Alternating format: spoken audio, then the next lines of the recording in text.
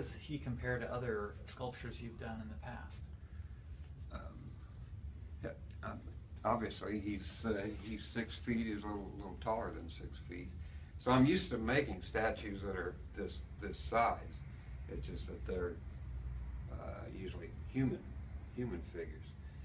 Um, and so the, he he did pose a challenge to me because he's he's a, a bear and and you got different textures to to work with and and I, I had to look up a lot of photos on the internet and and uh, Google Google all the pictures I could find of the golden bears, and uh, he's supposed to represent a golden bear.